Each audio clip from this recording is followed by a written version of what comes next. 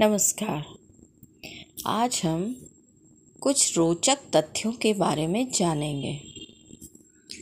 मेघालय में एक नदी है, उमंगोट नदी, जिसे भारत की सबसे साफ़ नदी कहा जाता है।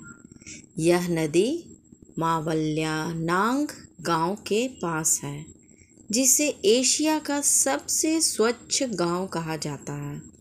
गाँव में करीब तीन सौ घर हैं और सभी मिलकर इस नदी की साफ़ सफ़ाई करते हैं। सबसे ख़ास बात यह है कि इस नदी में गंदगी फैलाने पर लोगों से पाँच हज़ार रुपये तक का जुर्माना वसूला जाता है। महाराष्ट्र का राजकीय पक्षी हरियल एक ऐसा पक्षी है जो कभी धरती पर अपना पैर नहीं रखता। इन्हें ऊँचे ऊँचे पेड़ वाले जंगल पसंद है। हरियल पक्षी अक्सर अपना घोंसला, पीपल और बरगद के पेड़ पर बनाना पसंद करते हैं। ये सामाजिक प्राणी हैं और अधिकतर झुंड में ही पाए जाते हैं।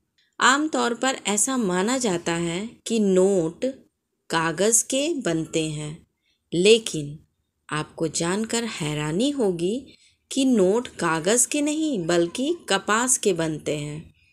ऐसा इसलिए क्योंकि कपास कागज़ की तुलना में अधिक मज़बूत होते हैं और वो जल्दी फटते नहीं हैं।